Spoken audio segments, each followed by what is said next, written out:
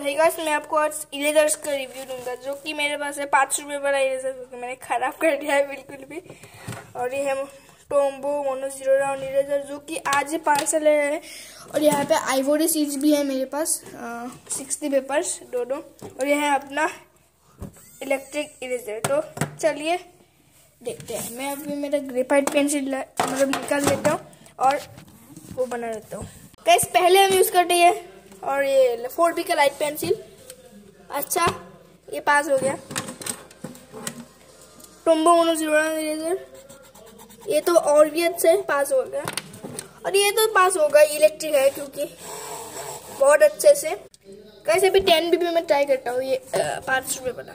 इतना भी अच्छा नहीं था, देखो, ये रहेगा और अभी टोम्बो मोनो यूज़ करता हूँ मैं। ये तो और भी बुरा था, अभी इलेक्ट्रिक यूज़ करता हूँ। ये ओपी है गाइस अब ये